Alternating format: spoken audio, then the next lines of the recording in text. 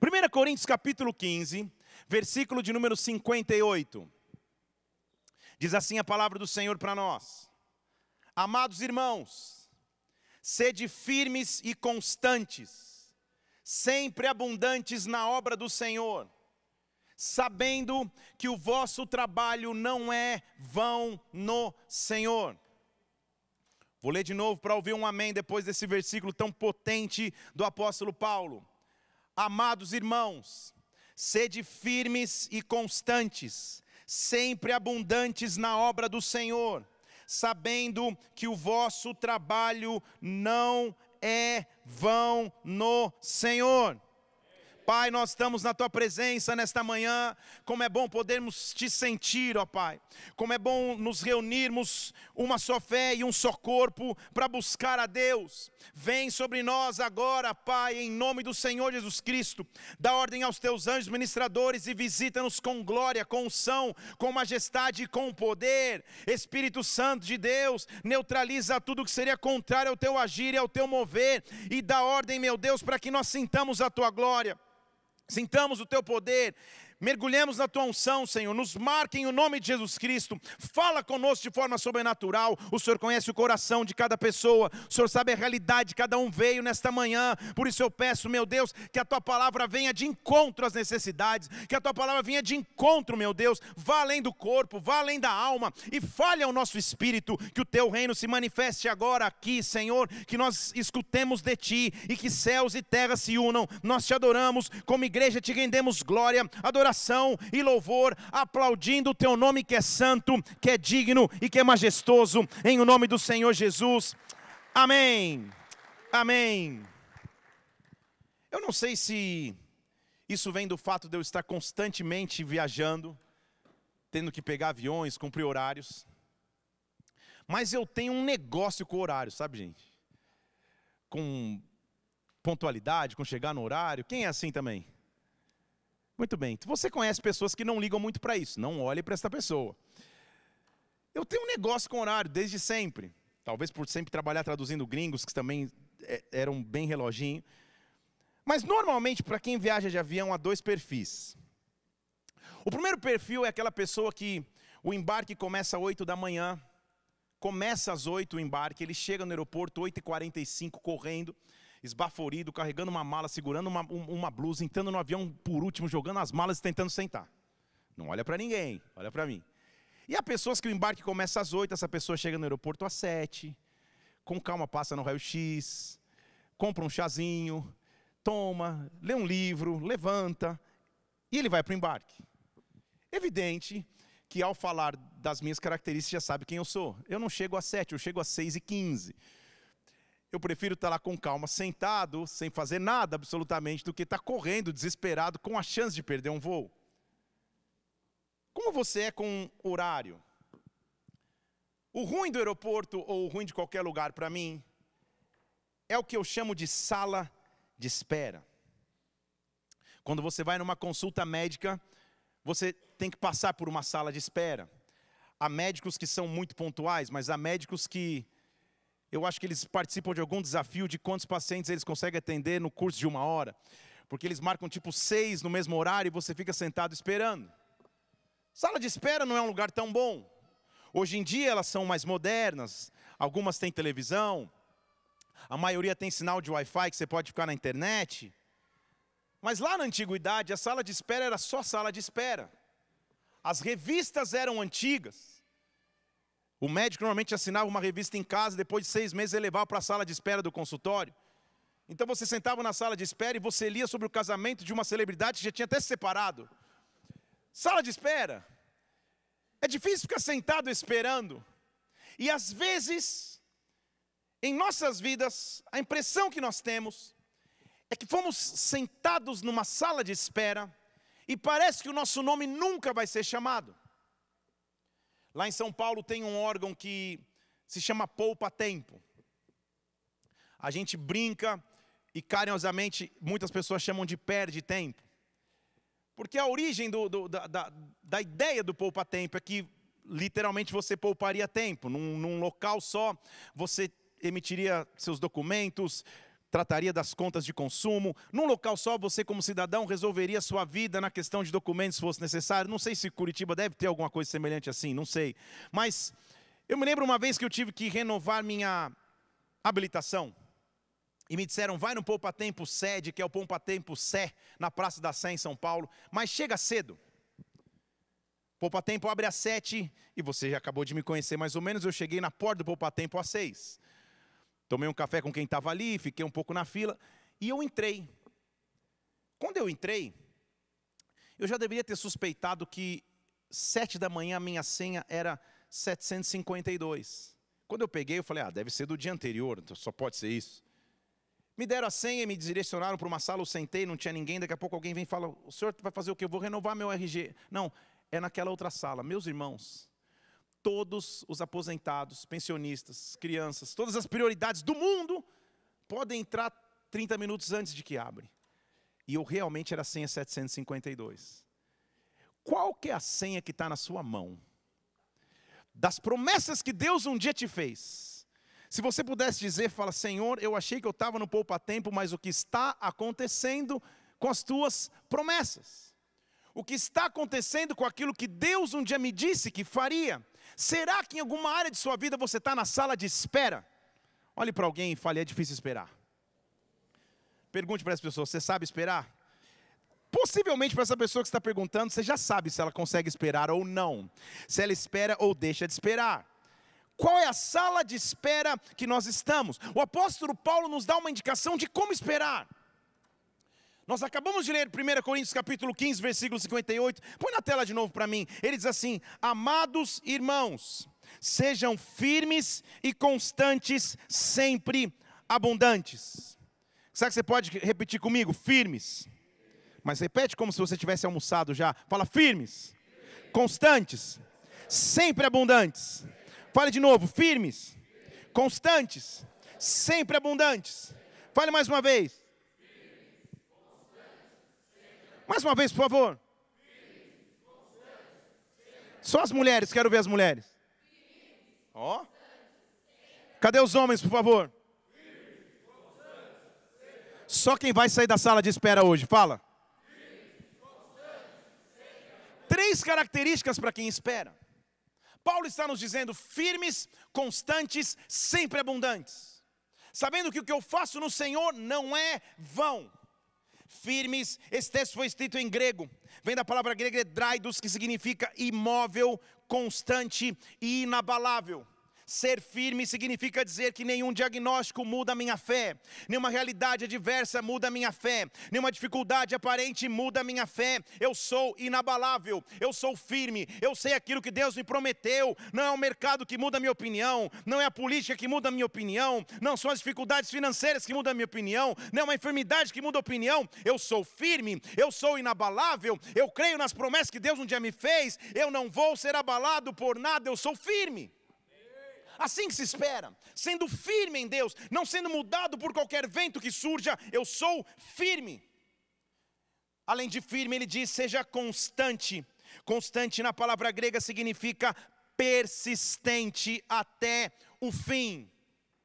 Estão aqui?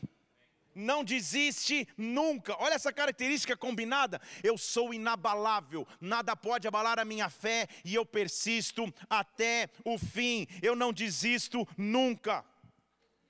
Eu não retrocedo, eu creio até o final, eu creio até o fim, eu não desisto, mas além disso, eu sou inabalável, eu persisto até o fim e por isso eu sou sempre abundante. Fale comigo, sempre abundante.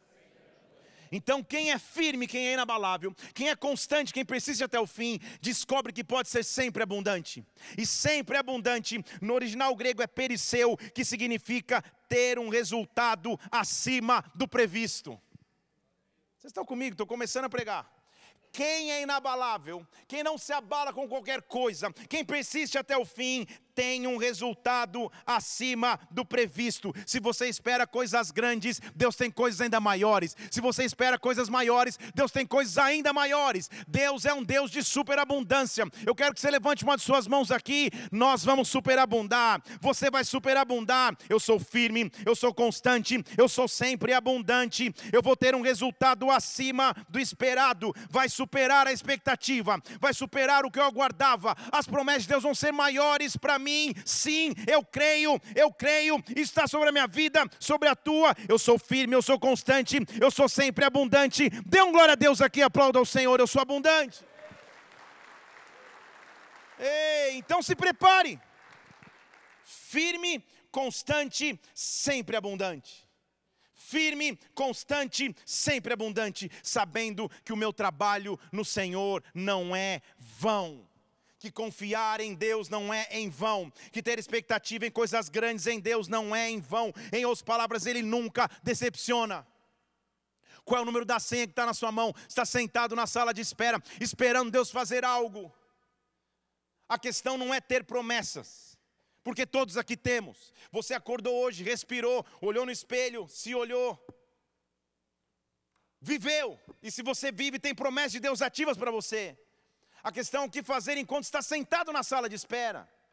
Enquanto parece que o seu nome não vai ser chamado, hoje eu estou profetizando sobre ti, a sala de espera vai acabar, alguém vai chamar o teu nome, alguém vai chamar o teu número. Levante uma de suas mãos aos céus, Deus vai lembrar das promessas que Ele tem sobre você, Deus vai te dar firmeza, constância e superabundância. Eu sou firme, eu sou constante, eu sou sempre abundante, o resultado vai ser acima do esperado.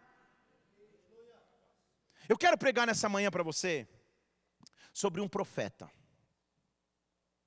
Um profeta que foi visitado por Deus para que o povo pudesse ser firme, constante e sempre abundante. Não é fácil estar sentado na sala de espera. Não é fácil estar sentado na sala em que se aguarda. Não é fácil estar na espera do que Deus pode fazer. E há momentos na vida que não há nada a fazer a não ser esperar. Não há nada que você possa fazer naturalmente para acelerar, só tem como esperar. Espere sendo firme, constante e sempre abundante. Esse profeta eu quero meditar nessa manhã. O nome dele é Zacarias. Eu não vou nem te pedir para abrir Zacarias, porque o tempo do culto é curto. Mas se você conseguir encontrar Zacarias, abra lá Zacarias. Quem tem uma Bíblia física, aquela Bíblia de papel e caneta? Caneta não, papel. Levanta sua Bíblia, deixa eu ver, cadê? Tem uns remanescentes. Quem é a sua Bíblia do celular? Levanta o celular, deixa eu ver. Tem gente que não. Ah, tem uns. Quem está sem Bíblia nenhuma, nem no celular? Baixa o aplicativo aí, agora. Nós vamos, em nome de Jesus, ter nosso aplicativo conectado. A gente vai ter uma Bíblia lá dentro para você poder ter. Isso, pode aplaudir o Senhor que vai ter mesmo, mesmo. Muito bem. Os nomes em hebraico têm um significado. Zacarias em hebraico significa o Senhor se lembra. Fale comigo, o Senhor se lembra. Você pode pensar que todo mundo esqueceu das promessas de Deus sobre você. Você pode até mesmo achar que o tempo esqueceu daquilo que um dia Deus prometeu, mas Zacarias se chama o Senhor se lembra. O Senhor sabe exatamente do que te falou, em que momentos da sua vida, que promessa você recebeu, ele não esqueceu. Na sala de espera, o Senhor lembra do teu nome. O Senhor sabe quem você é. O Senhor se lembra. O Senhor lembra de você. Zacarias teve uma chamada, uma missão muito específica, gente porque houve um momento na história bíblica que o povo estava distante de Deus, vários reis fazendo coisas terríveis que feriam a aliança de Deus com Israel, com Judá, com o seu povo. Deus então permite o cativeiro. E o povo de Judá vai para o cativeiro na Babilônia. Cativeiro significa morte de sonhos, morte de esperança, morte de futuro, morte de perspectiva. Cativeiro parece ser a sala de espera eterna. O que acontece é que depois de um pouco mais de 70 anos no cativeiro, há um decreto de um rei chamado Ciro na Pérsia, que autoriza o povo a voltar, a deixar o cativeiro. Eles voltariam então com uma missão: reconstruir o que estava caído. Jerusalém, que havia sido uma cidade imponente, o templo, que havia sido o exemplo de prosperidade da época de Salomão, estava ao chão, tudo caído, tudo destruído. E eles voltariam para reconstruir. A história relata que aproximadamente 50 mil pessoas voltaram para reconstruir o templo, sob o comando de um homem chamado Zorobabel, o governador, o líder. Zorobabel conduziria então 50 mil pessoas para reconstruir. Começar projetos não é difícil. Quando você começa, você começa com esperança. Você começa cheio de empolgação, cheio de vigor. Culto da virada é um dos melhores cultos que tem, porque na noite do dia 31 de dezembro você preenche um monte de metas. Esse ano é isso, esse ano eu falo inglês, esse ano eu, eu perco peso, esse ano eu sei lá que eu faço, esse ano eu faço aquilo outro, esse ano eu me inscrevo na academia, esse ano eu faço de tudo. A questão é como você vai estar no outro 31 de dezembro, olhando para trás, para entender o que aconteceu. Tem uma, tem uma esposa que deu uma encarada no esposo, depois a gente. Deus te viu e eu também, mas tudo bem. Começar não é difícil. São 50 mil pessoas saindo da Babilônia felizes, cheios de empolgação. Vamos reconstruir, vamos fazer. Deus será conosco, vamos. Vamos continuar. Deus tem grandes promessas para nós. É isso, são 50 mil pessoas para a reconstrução depois de 70 anos de cativeiro. Eles iniciam a reconstrução, reconstroem o altar e começam a reconstruir o templo. Contudo, todavia, entretanto, inúmeros desafios surgem no meio do caminho. Não parecia ser tão difícil como eles imaginavam. O meio do processo se torna custoso, o meio do processo se torna desafiador, a sala de espera se torna terrível demais. E ao invés da coragem, ao invés da força, ao invés do ímpeto para construir, uma apatia toma conta do povo. E depois eles construírem com vigor numa primeira fase, o povo se torna apático. Perde o vigor no meio da caminhada. Isso é o que a sala de espera faz com cada um de nós quando estamos esperando promessas de Deus, você até consegue visualizar, mas de alguma forma a força se esvai no meio da caminhada, entre a alegria que você tinha, o vigor que você tinha ao começar, daqui a pouco está no meio do caminho, mas não tem mais o mesmo vigor, está agora apático. Deus precisa soprar força sobre nós no meio da sala de espera, porque eu sou firme, eu sou constante, eu sou sempre abundante. Deus quer nos visitar com esta força. O que acontece é que eles começam a construir. Os inimigos começam a opor demais.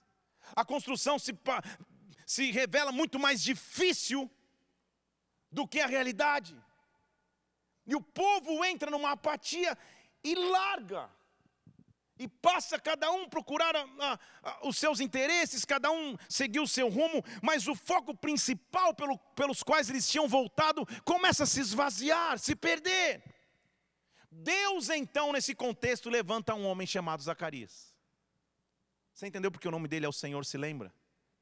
Porque é Deus dizendo para o povo: vocês podem ter esquecido, mas eu lembro. Vocês podem estar fraquejando no meio da caminhada. Eu não vou fraquejar. Vocês podem estar desistindo. Eu não vou desistir. Você pode ter desistido da restauração da tua família. Eu me lembro das promessas sobre a tua família. Você pode ter desistido de restaurar a tua vida financeira. Eu me lembro do que eu prometi para as tuas finanças. Eu me lembro. O Senhor se lembra daquilo que te prometeu. Eu quero que você olhe para o meio da tua caminhada agora e ganhe força e ganhe esperança. Feche seus olhos só um instante. Aquilo que você está na espera. Qual é a sala de espera que você tem? Já promessas de Deus sobre a tua vida. Já palavras te foram liberadas. Deus me trouxe aqui nesta manhã para dizer a você: eu me lembro, eu me lembro daquilo que te prometi, eu me lembro daquilo que falei a você. Ganha força mais uma vez na sala de espera, Deus vai chamar o seu nome. Gente, a apatia não dura um mês, a apatia não dura dois meses. O registro histórico é que Zacarias se levanta, presta atenção comigo, doze anos depois. eles haviam saído da opressão dos persas agora, 50 mil pessoas para reconstruir um templo, e haviam se passado 12 anos. E a apatia entrou de tal forma que eles só procrastinavam: ah, não é ainda tempo, não é tempo, não é tempo, não é tempo. 12 anos. 12 anos. Sabe você, como esposa, que diz ao seu esposo: olha, por favor, você pode arrumar aquela porta do armário que está um pouco enguiçada? Mais ou menos isso. Teve uma outra esposa que eu acho que nós temos que fazer um culto de casais, é que eu estou achando. Minha esposa vocês conhecem. Não está aqui hoje porque está saindo de uma gripe e está na, na, missão Enem com a, com a nossa filha. À noite ela está. Você sabe como a pastora Mila é agitada? Se tem um copo aqui, ela passa. Felipe, você pode pegar o copo? Eu só quando eu olho, ela já está lavando o copo já guardou. Eu acho que é só lá em casa assim. É ou não é? Hã? Não? Aleluia. Porque normalmente o homem ele tem um drive um pouco diferente. Ele fala, calma. Enquanto ele está raciocinando sobre o copo, o que, que ele vai fazer tal, ela já, já foi, já passou. Só que 12 anos, gente, vamos combinar? O que aconteceu entre o ímpeto da reconstrução e 12 anos de apatia? Certamente as dificuldades da caminhada começaram a enfraquecer o povo. Isso é normal. Eu dou glória a Deus pela tua vida. Você podia dizer amém. Eu dou glória a Deus pela tua vida.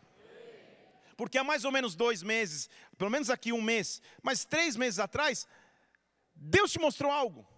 A gente foi lá para o espaço Torres, meu Deus, luz, ar-condicionado, câmera, uh, ação, palco, baba, glória a Deus. Vamos construir. Aí nós entramos aqui, glória a Deus, vamos construir. Aí o pastor fala, gente, estamos em obras, desculpa o transtorno, glória a Deus. Aí, aí a, a, a construção começa. Aí tem um dia que é calor. Aí tem um dia que o fogo cheira xixi. Não é isso? Falando português claro, não é isso? Aí tem dia que o pastor fala e eu estou pregando aqui, eu estou vendo o casal falando, hã? O que, que, que, ele falou? Eu não entendi o que ele falou. Não é isso? Aí tem dia que o banheiro é difícil. Aí tem dia que você fala, meu Deus, o que está acontecendo? Agora vai ter um dia que, poxa, nem cantar mais eu posso, não tem mais música. E agora, meu Deus? Ó oh, Senhor, eu dou glória a Deus pela tua vida porque você está aqui. Vamos aplaudir ao Senhor? Mas, quantas pessoas, possivelmente nessa caminhada, do dia que falaram, vamos, agora que está no meio da caminhada, está meio igual o povo de Israel, ah, sei lá, meu, não sei não. E Deus está dizendo, eu me lembro. Deixa eu falar de novo, eu me lembro. Eu me lembro. Eu me lembro. Eu me lembro do que eu prometi, eu me lembro do que eu falei, eu me lembro do que eu vou fazer. Você talvez esteja distante daquilo que você imagina estar em Deus, mas ele se lembra. Deus se lembra daquilo que te prometeu. Ele levanta Zacarias. Ele abre a visão de Zacarias, Zacarias começa a ter visão. De repente, Deus dá uma série de visões para ele, e nós vamos estudar algumas delas, porque não dá para estudar todas. Nós vamos ver, na verdade, mais especificamente duas. Zacarias teve muitas visões, porque o que Deus precisa fazer para que você saia da sala de espera é abrir os teus olhos profeticamente para que você veja, para que você enxergue. Deus vai abrir os teus olhos para que você ande pela fé e não pelo cansaço, não pela apatia, não pela sala de espera. Deus vai cuidar da reconstrução que você precisa. São 12 anos de obra paralisada. Graças a Deus, aqui vai ser muito, muito menos de 12 anos. Assim, já até olhei para o Marcos que está aqui, que é da empresa, isso vai ser bem menos que 12 anos, né? muito bem. Então, evidente, estou brincando. Vamos aplaudir o Senhor pela vida do Marcos que está aqui, ó. Porque a gente não combinou ainda, por enquanto ele, ele, ele, ele a gente é cliente, ele é empresa. Por enquanto, quando a obra acabar, ele vai virar membro. Ele não sabe ainda. Mas vamos lá, voltando aqui. Aí, é, são 12 anos parados. 12 anos que a construção parece que não vai acontecer, mas o Senhor se lembra. E olha o que acontece em Zacarias capítulo 2, versículo 1. Levantei os meus olhos e vi um homem que tinha na mão um cordel de medir. Pensa, são 12 anos de obra parada. E daqui a pouco, Zacarias tem uma visão, quando ele abre os olhos, ele vê um homem com uma trena na mão. Cordel de medir é uma trena, um equipamento de construção. São 12 anos de uma parada, mas Deus lembra. Nesta manhã, o Senhor está se levantando para começar a obra. sobre a sua vida. Versículo 2, eu perguntei: Ei, homem com a trena, para onde você está indo? Ele falou: Estou indo medir Jerusalém. Eu vou ver qual é a largura, qual é o comprimento. Aos seus olhos a obra está parada mas eu estou me preparando para reconstruir. Você está entendendo? São 12 anos de obra parada. E ele olha para Zacarias e começa a levantar um profeta dizendo: Eu lembro, eu lembro. Nessa manhã eu estou com uma trena nas mãos. Eu sei que Zacarias é complicado de ler. Você lê de madrugada e fala: Senhor, não estou entendendo absolutamente nada. Por isso que eu estou te explicando. Ele olha, ele abre os olhos, ele vê o homem com uma trena na mão, com uma caixa de ferramenta na mão, falando: Onde você está indo? Eu estou indo para Jerusalém. Deixa eu medir lá porque tem uma construção que vai acontecer. Deixa eu medir lá porque eu me lembro, eu não esqueci. Deixa eu medir lá porque eu tenho um casamento para restaurar, porque eu tenho uma família para salvar, porque eu tenho uma empresa para transformar. Eu me lembro, eu me lembro. Deus está dizendo essa manhã, eu me lembro. Eu me lembro do que eu te prometi. Eu me lembro dos sonhos que você tem. Eu me lembro. Você vai sair da sala de espera, Jerusalém saiu o anjo que falava comigo, outro anjo veio a teu encontro, e o anjo disse: Meu Deus, que mistérios, dá até um arrepio aqui, versículo 4: Fala para esse jovem, Fala para esse mancebo. Jerusalém vai ser habitada como aldeias que não dá para ter muros, porque vai vir uma multidão para Jerusalém. Vocês estão comigo aqui? São 12 anos de entulho, 12 anos de obra parada. O povo está desanimado. Os 50 mil saíram animados para construir. O tempo passou, parece foi mais difícil do que eles imaginavam. Desistiram. Só que Deus não se esquece. Na verdade, Ele se lembra. Ele olha, tem um homem com, a, com, a, com as ferramentas nas mãos, dizendo: Vamos medir, vamos medir, porque a construção vai começar. E Jerusalém vai ser habitada por uma multidão. Hoje você olha, são entulhos. Hoje você olha, parece uma obra que não acaba nunca, mas uma multidão multidão está vindo, uma multidão está vindo, uma resposta de Deus está vindo. Deus pode mudar a sua realidade, Deus está mudando a sua realidade nesta manhã. Ei! E uma coisa eu garanto, diz o Senhor, versículo 6: Eu sou o Senhor, eu vou ser um muro de fogo ao seu redor, e no meio dela eu vou ser a sua glória. Eu estou dizendo, levante uma de suas mãos aqui. Vem o tempo de reconstrução sobre a tua vida, vem o tempo de respostas de Deus sobre a tua vida. Deus vai reconstruir, Deus vai transformar qualquer cenário. A sala de espera está acabando, Deus está chamando o teu nome. Oh, então ele diz: só faz uma coisa. Pode aplaudir, você que ameaçou aí. Obrigado. É para Deus, é para Deus, aplauda ele, aplauda ele, porque é para ele. Oh, ele. Zacarias abre os olhos. São 12 anos de obra parada, hein? 12 anos parece nada acontecendo. 12 anos de sala de espera. Ele diz: pega a caixa de ferramentas. Ele vê um homem com a trena, com a caixa de ferramentas. Onde você está indo? Eu estou indo para Jerusalém. Eu vou medir porque a obra vai continuar. Eu vou medir porque vai acontecer. E avisa esse mancebo. Olha que, que, que, que Aleluia. Senhor. Avisa esse jovem que Jerusalém vai ser habitada como uma cidade que não tem muro. Sabe o que ele está dizendo? Não dá para conter o que eu vou fazer sobre Jerusalém. Hoje é entulho, hoje é reconstrução, hoje parece que está uma apatia na galera, mas não! Zacarias se levanta e tem uma visão. Então, sabe o que ele diz? Esse eu quero profetizar sobre nós essa manhã, versículo 10. Canta e se alegra Versículo 10 de Zacarias 2: Canta e se alegra, filha de Sião, porque eu estou vindo, eu vou habitar no meio de ti, diz o Senhor. Deus vai te dar cântico nos lábios, Deus está rompendo com a apatia, Deus está rompendo com a paralisia. A sala de espera acaba hoje, Ele está vindo, canta. Então, posso começar agora? O que Ele faz comigo quando a sala de espera acaba? Ele me desperta para um novo tempo. Ele nos desperta para um novo tempo. Zacarias capítulo 4, versículo 1: O anjo falava comigo, e esse anjo me despertou como alguém que é despertado do seu sono, como alguém que é despertado da sua apatia. Ele diz: O que você está vendo?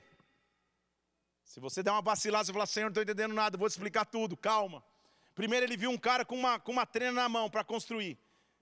Ele acorda do sono, o que você está vendo? Ah, sei lá, eu estou vendo um candelabro de ouro maciço, estou vendo um recipiente para guardar azeite, estou vendo sete lâmpadas com tubos para as lâmpadas. Sangue de Cristo tem poder, pastor, são só 10 e 40 da manhã, não estou entendendo nada, calma. Ele vê um símbolo profético. Lembre-se que o templo não está reconstruído, mas ele já está vendo no futuro. Ele está vendo no futuro, o castiçal vai estar ali, a chama vai estar sempre acesa. no futuro vai ter um vaso para guardar azeite. O combustível para a chama nunca vai faltar. A unção sempre vai estar presente num templo que ainda nem estava construído. Vocês estão aqui comigo? Ele está desafiando a realidade do povo. O povo está desanimado, está apático.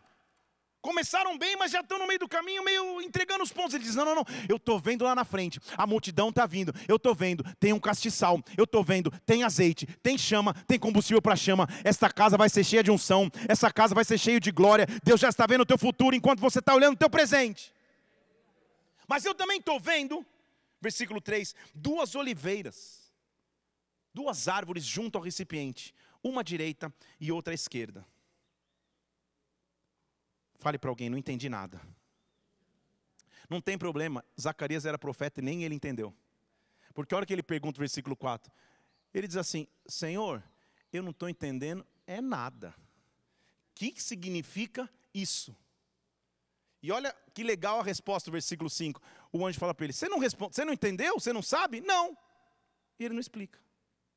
Legal. Aí você fecha o livro e fala: Senhor, obrigado pela essa leitura maravilhosa, não entendi foi nada. Calma. Eu vou te explicar. Então, lembrando, ele está como que dormindo, Deus o acorda.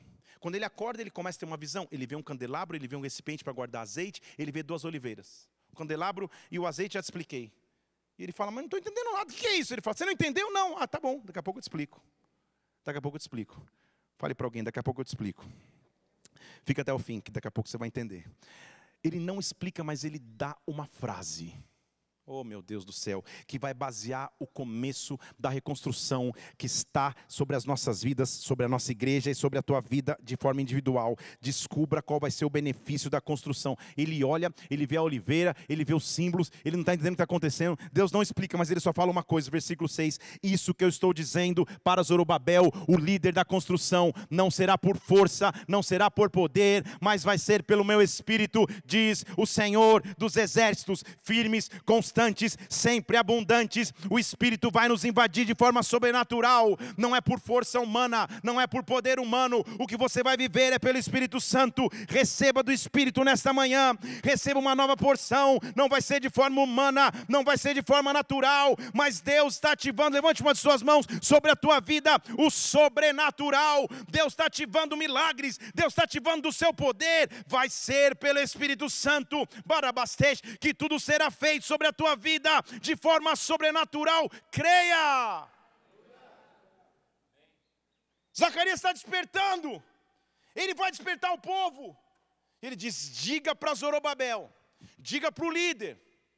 Zacarias é só o profeta, tem um líder. Diga para o líder, o mesmo líder que saiu 12 anos atrás empolgado e está vendo todo mundo apático. Diz para ele que não vai ser por força, não vai ser por poder, mas vai ser o meu espírito. Quem vai fazer é o espírito. A glória quem vai fazer é o Espírito Santo.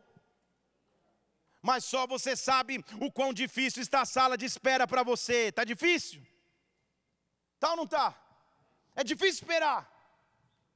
Na verdade, tem coisas que você olha na sua vida que parecem intransponíveis, que não vão mudar nunca que são difíceis demais de alcançar. Mas olha o que o profeta, agora cheio do Espírito Santo, olha o que ele escuta, versículo 7. Quem é você, ó monte? Monte diz respeito à dificuldade, obstáculo que eu não consigo pular. Quem é você, monte grande? Na frente de Zorobabel, você vai virar como uma campina. Você está comigo aqui? Quem é você, monte? Eu estou olhando hoje é monte. Eu estou olhando hoje a impossibilidade diante dos meus olhos. O que é monte vai virar campo plano. Você não entendeu? Eu estou profetizando sobre a tua vida. A dificuldade está diante dos teus olhos. A impossibilidade está diante dos teus olhos. Deus está olhando e está dizendo: quem é você? Quem é você, crise financeira? Quem é você, depressão? Quem é você, enfermidade? Diante dos meus olhos, o que era monte vai se transformar em campina. Diante dos meus olhos, o que era impossível vai se tornar real. Não é por força, não é por poder, mas é pelo Espírito Santo. Quem crê, dê um brado ao Senhor aqui, aplaudam. Há uma presença de Deus aqui sobre nós. Ei! Só que essa obra vai ter uma assinatura. Ele diz assim: Monte, você parece grande, mas vai virar um campo. E vai estar assinado lá, com aclamações na pedra fundamental: graça sobre graça. Foi pela graça Vocês estão comigo aqui? Estou dando um spoiler a você. Em algum lugar que eu ainda não defini aqui, nas paredes da, ou da entrada ali da igreja, ou na parede que dá acesso ao infantil, vai estar escrito assim: graça sobre graça. Estão aqui? Porque quando a gente olhar tudo pronto, a gente fala: o que aconteceu? Foi graça sobre graça foi porção dobrada de graça. O que era monte virou campina. O que era dificuldade virou realidade. O que era impossibilidade foi feito pelo sobrenatural. Graça sobre graça. Você não entendeu? Um dia você vai estar abraçando os teus filhos e os filhos dos teus filhos com o teu casamento restaurado e vão te perguntar: o que, que é isso? É graça sobre graça. Um dia a tua empresa vai prosperar de uma forma que você não imagina. E você vai dizer: o que aconteceu? Foi graça sobre graça. Um dia você vai ver os sonhos que Deus te fez viver. Ah, os sonhos que um dia Ele te prometeu. E vão te perguntar como aconteceu aconteceu foi graça sobre graça, foi pelo poder maravilhoso de Jesus Cristo que eu consegui fazer. Se levanta mais uma vez com autoridade, porque Deus está te dando força para construir. Doze anos de apatia.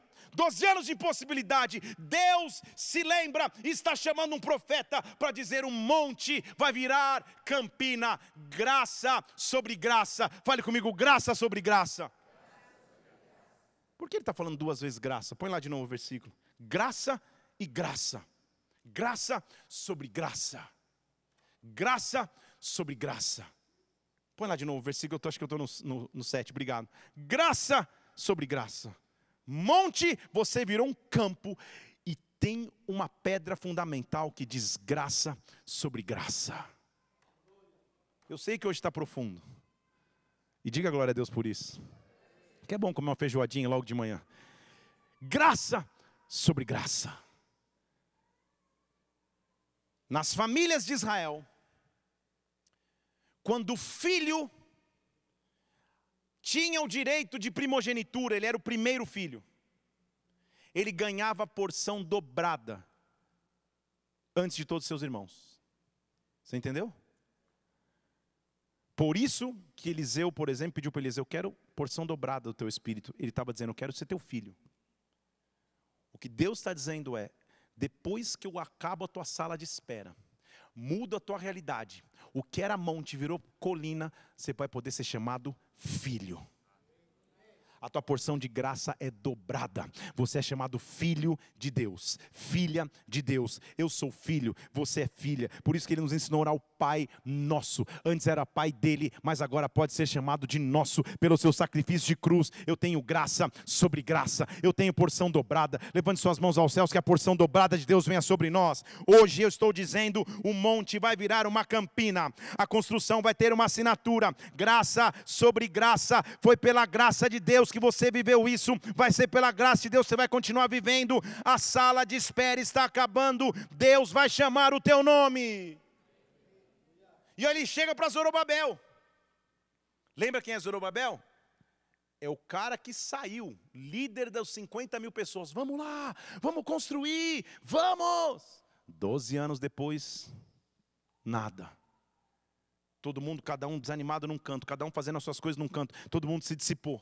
Ele diz: não, não, não, não, não. O monte virou campina. Vai ser pela graça de Deus, mas, versículo 9: as mãos de Zorobabel lançaram os alicerces do templo, as mesmas mãos vão terminar. Estão aqui? Ele está falando de Zorobabel, o mesmo Zorobabelzinho de 12 anos atrás, que lançou o alicerce com fé, pode ter passado 12 anos, você vai concluir a obra que você começou. Você não vai morrer no meio do caminho, Zorobabel. Você não vai desanimar no meio do caminho. Você não vai ficar no meio do caminho. Você vai chegar até o fim. Você vai terminar aquilo que você começou. É isso que a Bíblia está prometendo para você, para mim, para nossa igreja, para Zorobabel nesse caso. Ele está dizendo: Zorobabel, não foi você que lançou o fundamento? Você também vai estar na inauguração. Fale para alguém: você vai estar na inauguração. Não ouse faltar na inauguração da nova etapa de Deus na sua vida. Não estou falando só da igreja, mas da igreja também. Você vai nessa inauguração da nova etapa, Senhor.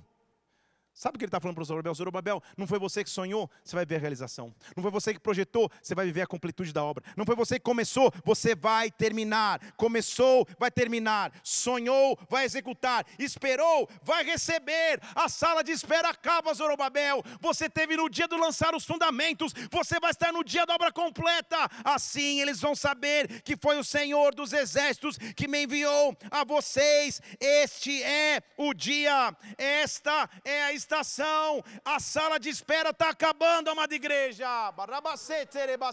Ei, sobre todas as áreas da sua vida, aonde você lançou fundamento? Aonde você lançou sonho? Aonde você lançou alicerce? As mesmas mãos que lançaram o alicerce são as mãos que vão terminar a obra em o nome do Senhor Jesus Cristo. Então, ele dá só uma indicação para Zorobabel e para todo o povo. Olha o que ele diz, versículo 10 não despreze os pequenos começos. Estão aqui? É o que ele está dizendo ali.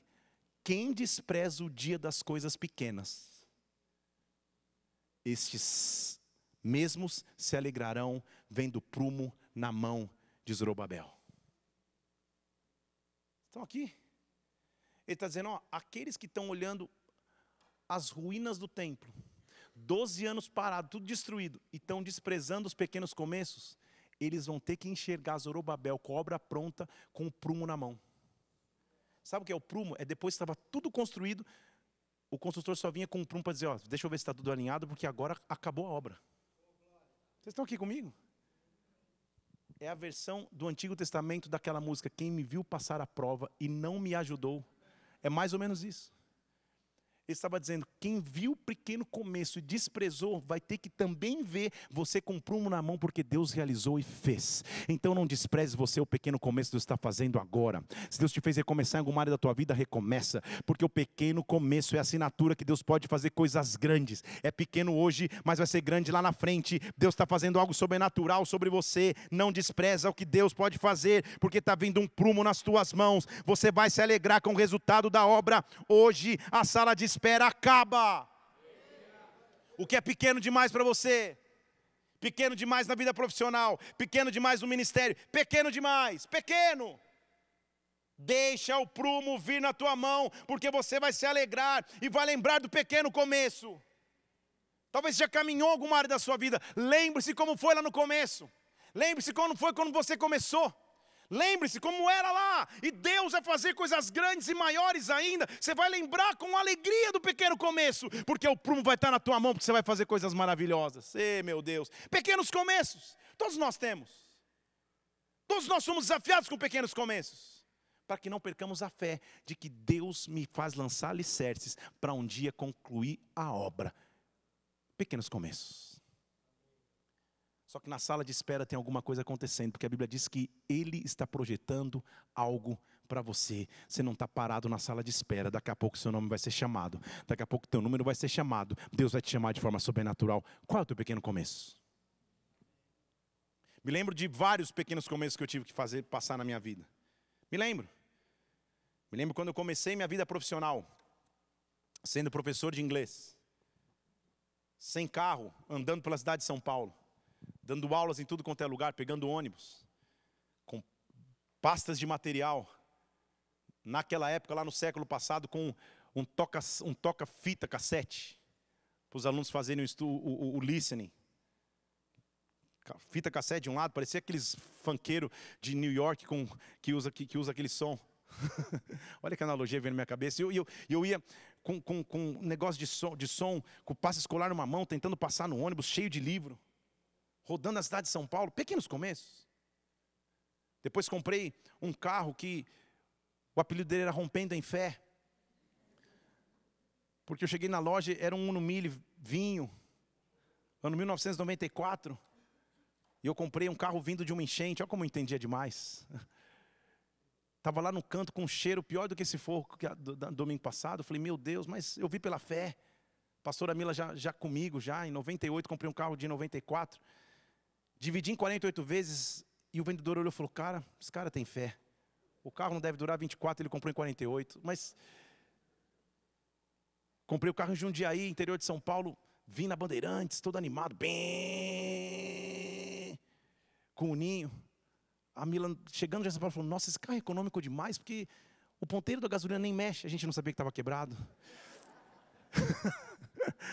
Fui fazer uma curva, o ponteiro girou de uma vez e já estava na reserva. Eu falei: Meu Deus, que coisa mais moderna. Pequenos começos. Depois fui descobrindo que o carro esquentava. E aí tinha que sair de casa com duas garrafas PET de Coca-Cola, cheio de água. O carro parecia uma churrasqueira que quando ele esquentava, na marginal. Mila, vai lá olhar. Ela saía toda dondoquinha, arrumada, chapinha. Quando ela abria, a, a, o, o, capô fazia. Uma glória, um, e ela. E vamos! Estão aqui? Pequenos começos. Salas de espera, você tem as suas. Quem despreza os pequenos começos vai ser obrigado a enxergar. Quando o prumo estiver na sua mão, então deixem de desprezar agora, deixem olhar o teu pequeno começo e falar, não, não vai ter nada, não vai ser nada, porque Deus sabe o que vai fazer sobre você. Eu estou profetizando sobre a tua vida. O, o que aparentemente é pequeno começo, será um grande testemunho que Deus vai trazer na tua história, em o nome de Jesus Cristo. Começa de forma sobrenatural, porque o prumo daqui a pouco vai estar nas tuas mãos. Deus vai fazer o que você não poderia. Seja firme, constante e sempre abundante. Pequenos começos. Coisas que parecem que não vão dar em nada, mas na verdade é Deus te preparando para coisas ainda maiores. Zorobabel, você vai estar com um prumo nas mãos quando você menos espera. Eu posso imaginar como estava o coração de Zorobabel, que saiu com 50 mil pessoas 12 anos atrás, todos animados para reconstruir. O pessoal desanimou e agora talvez ele estava sozinho, falando: Meu Deus, o que, que eu faço? Deus chama um profeta para dizer: Eu me lembro. E eu quero ser esse profeta de Deus na sua vida nessa manhã para que Deus diga a você: Eu me lembro. Eu me lembro do que um dia te prometi. Eu me lembro do que um dia eu te falei. Eu me lembro do ministério que você sonha em ter. Eu me lembro da tua carreira, da tua profissão, da tua casa, do teu casamento. Eu me lembro. Eu me lembro. Eu me lembro. Eu me lembro. Talvez é um pequeno começo, talvez seja impossível demais, mas eu me lembro. Mas veja essa revelação maravilhosa. Porque a construção ia começar. E você lembra que Zacarias tinha tido uma visão? Primeiro ele viu o cara com a treina na mão, indo medir Jerusalém, porque a multidão está vindo, deixou medir, deixou preparar. Daqui a pouco ele tem outra visão, ele está vendo um castiçal, está vendo um azeite. Presença vai estar tá sempre lá, o combustível da presença vai estar tá sempre garantida. Mas lembra que ele viu duas oliveiras, duas árvores de oliva. E lembra que ele perguntou: o que, que significa? Ele falou: Você não sabe? Não sei. Ah, tudo bem. Não vai ser por força nem por violência, vai ser pelo Espírito. Ele explicou, não explicando? Lembra disso? Vou te explicar. Porque Zacarias não estava satisfeito. Ele, pela segunda vez, versículo 12, ele fala: Me explica o um negócio. Você não me falou o que são aqueles dois ramos de oliveira que estão do lado dos tubos de ouro, que estão vertendo azeite dourado.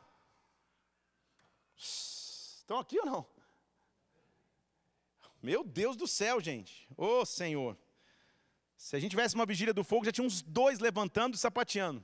Ele diz assim: O que, que eu estou vendo? O que, que é aquela oliveira que estou olhando com mais calma? Por que está vertendo um azeite dourado? O que, que é isso? O que, que é essa oliveira? O que está acontecendo? Ele diz assim: Ah, você não sabe o que é isso? Versículo 13. Não, já falei, eu não sei, meu senhor. O que, que é isso? Então ele disse: Esse são os dois ungidos que assistem junto ao Senhor de toda a terra. Aí você ainda está dizendo amém, falando, pastor, ainda não entendi. Vou te explicar. Ele está mostrando o que você precisa para reconstruir. E te explicando isso assim, eu quero terminar. Ele está fazendo a referência de dois ungidos que precisam estar presentes na reconstrução. Ele está fazendo referência a Josué, sumo sacerdote autoridade religiosa da época. Então, o que ele está dizendo, para reconstruir, eu preciso ter autoridade espiritual. Para reconstruir, eu tenho que me mover no sobrenatural. Para reconstruir, eu estou lá para verter azeite como autoridade que comanda no espírito e no reino do espírito as coisas acontecem. Então, a primeira oliveira representa o sumo sacerdote. A primeira oliveira representa a autoridade no espírito que eu tenho para comandar.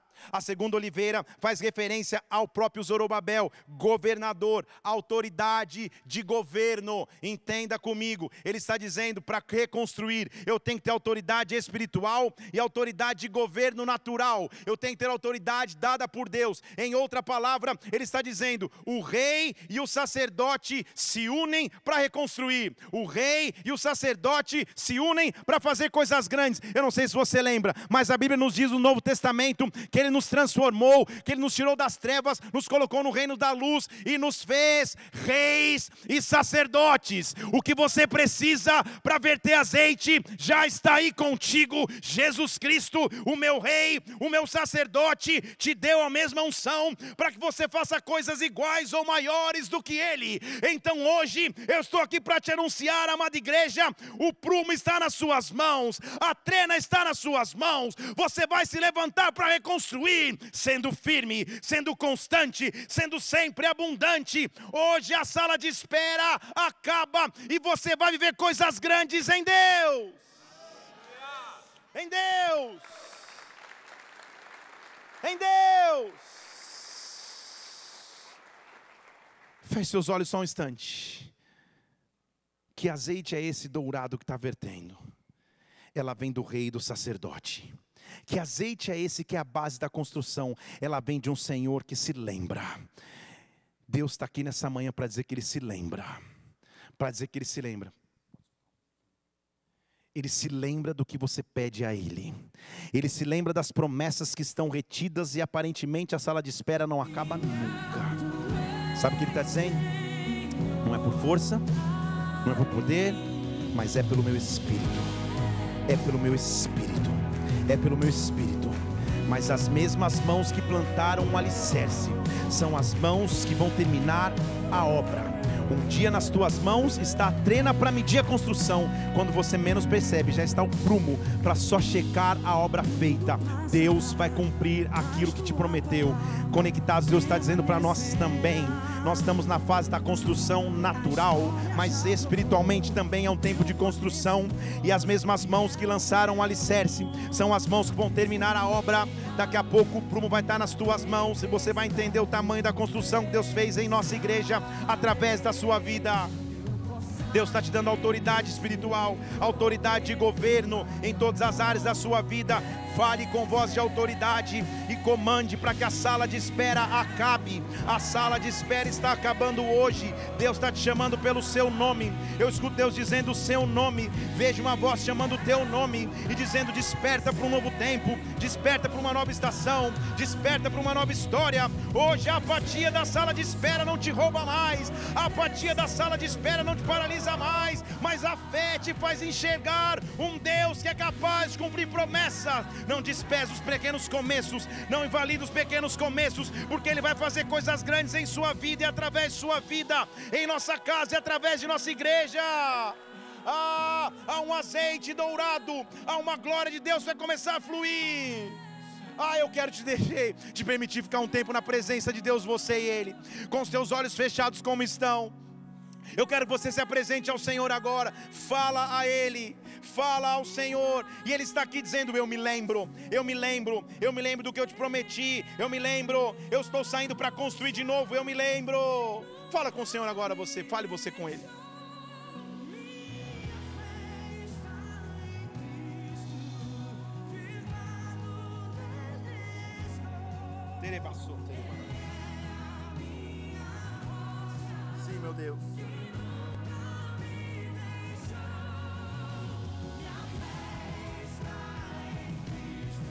Senhor. Abra os seus lábios e fala com Ele agora, Senhor, eu creio. Senhor, eu creio. Ah, meu Deus, obrigado por me lembrar que o Senhor lembra das promessas. Obrigado por me lembrar que o Senhor não se esquece daquilo que me prometeu, Pai. Oh, meu Deus.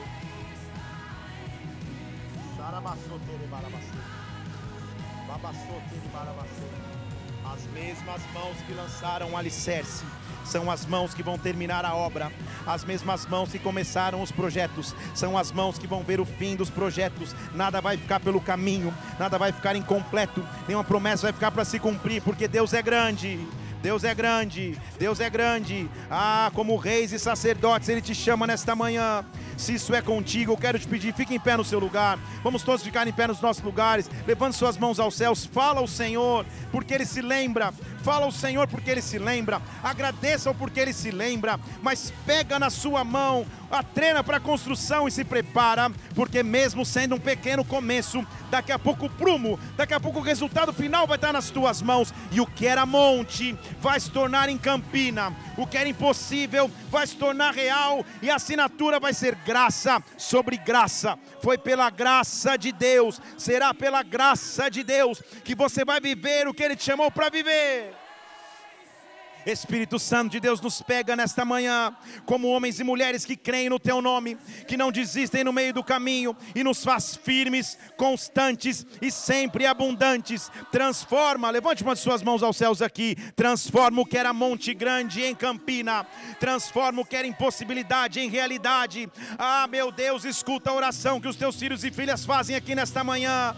Escuta, meu Deus, uma oração feita com fé. Liga isso na terra, Pai, para que seja ligado nos céus, que a sala de espera acabe. Eu estou profetizando nesta manhã, tua sala de espera acabou. Deus está chamando o teu nome, a graça dele se manifesta sobre ti. Se você crê, dê um brado ao Senhor o mais alto que você puder e aplaudam aqui adore-o.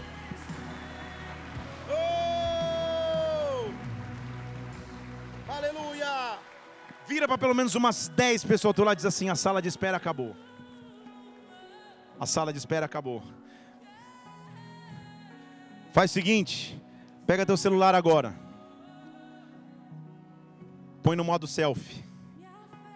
Encontra alguém aí para você tirar uma selfie. Tira uma selfie com, com pelo menos umas cinco pessoas aí. Tira.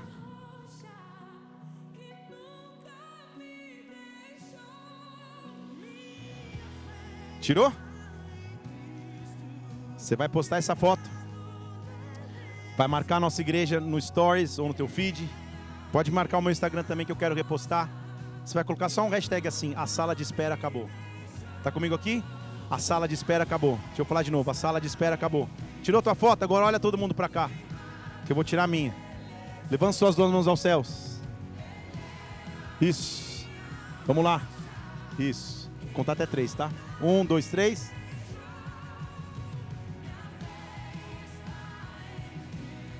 Grita, sala de espera acabou. Dá um aplauso ao Senhor e adore neste lugar. E adore neste lugar. Vale, põe para mim de novo aquela foto lá. Não, vale, desculpa, Diego. Põe para mim a foto do nosso templo. Põe dentro do templo. Tem uma próxima aí. Vamos entrar no templo. Isso. As mesmas mãos que plantaram os alicerces vão colher o resultado, porque Deus te chamou para viver coisas sobrenaturais. O tempo vai passar, mas não vai ser por força, nem por poder, mas pelo Espírito do Senhor. Nós estamos chegando nas promessas de Deus para nós como igreja. Se prepare para essa estação. Aplauda o Senhor porque Ele é maravilhoso. A sala de espera acabou. Acabou. Feche seus olhos só um instante. Talvez esteja aqui pela primeira vez nessa manhã. Falando, Senhor, tem tantas salas de espera que eu estava até então. Mas a mais importante que você precisa hoje é de entregar a tua vida a Jesus Cristo, dizendo que Ele é o teu Senhor, teu Salvador e que você confia nele. Todos os olhos estão fechados, você está com a tua mente em Deus, só nele. E se você está distante de Jesus e quer voltar a Ele hoje, se você quer entregar a Jesus sua vida, eu quero te fazer um convite. Se entrega a Jesus Cristo hoje. Se entrega ao Senhor nessa manhã. Se você quer recebê-lo como teu Salvador, como teu Senhor, pedindo perdão pelos teus pecados, repete essa oração comigo. Fale assim: Senhor Jesus, nesta manhã, eu coloco a minha vida em tuas mãos. Eu te peço perdão pelos meus pecados, pelo afastamento de ti. Eu creio Jesus é o meu Senhor, é o meu Salvador. Pai, eu oro por cada pessoa que faz essa oração hoje, aqui ou online, que nos acompanha, meu Deus, porque hoje, da morte para a vida eterna, Senhor, da espera em ti para o cumprimento da promessa principal que é ser salvo em Jesus Cristo. Eu abençoo os teus filhos e filhas que repetem, que fazem essa oração de forma voluntária nos seus corações, apresentando Cristo como Senhor e Salvador. Nós te louvamos, agradecemos, entronizamos e aplaudimos o teu nome por vidas que se, se entregam a ti nessa manhã, Pai, em nome do Senhor Jesus Cristo, em nome do Senhor Jesus. Amém. Nós vamos terminar agora esse culto. Terminado esse culto, se você fizer essa oração, você pode ir ali, ó. Tem um pessoal do nosso time de recepção ali, o Welcome está ali, ó, para te dar um abraço, para fazer uma oração por você. Se você visita ou se você fizer essa oração, passa ali ainda hoje em nome de Jesus Cristo. Fala para alguém, acabou a sala de espera. Estou esperando você postar, quero repostar ainda hoje. Convida alguém. Eu vou pregar exatamente a mesma palavra no culto da noite, mas se você já veio nos dois cultos, você vê que sempre a mesma palavra pregada acaba sendo diferente. Então te espero aqui à noite. Traz alguém, porque a sala de espera acabou em nome de Jesus Cristo. Levanta mão bem alto que o amor de Deus Pai, que a graça do Senhor Jesus, que a unção majestosa do Espírito Santo venha sobre nós, firmes, constantes e sempre abundantes, porque Deus está conosco. Deus te abençoe. Vai na paz de Deus para uma semana de vitória, para um domingo abençoado. Dá um abraço quem está do seu lado. Deus te abençoe. Acabou a sala de espera. Deus te abençoe.